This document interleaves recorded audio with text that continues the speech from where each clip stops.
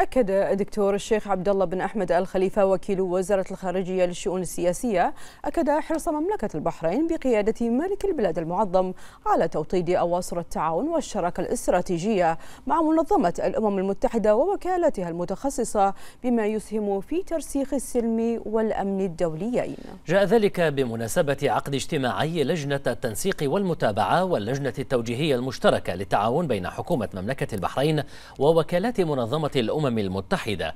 وتم خلال الاجتماعين استعراض أوجه التقدم المحرز في مسيرة التعاون والشراكة بين الجانبين وأبرز المنجزات المحققة لا سيما في مجالات التعليم ومكافحة الاتجار بالأشخاص والاستدامة البيئية عبر عدد من المبادرات. وأعرب وكيل وزارة الخارجية للشؤون السياسية عن اعتزازه بالإنجازات الديمقراطية والتنموية والحقوقية الرائدة لمملكة البحرين ومبادراتها بالشراكة مع المنظمات الدولية والإقليمية في تكريس قيم التسامح والتعايش وتقدم المرأة وتمكين الشباب ودعم التنمية المستدامة. من جانبه أشاد سيد خالد عبد السلام المقود المنسق المقيم لأنشطة الأمم المتحدة لدى المملكة بالتعاون البناء والشراكة الوطيدة والمثمرة بين مملكة البحرين والمنظمة الدولية في إرساء دعائم الأمن والسلام والحوار بين الحضارات والثقافات واحترام حقوق الإنسان.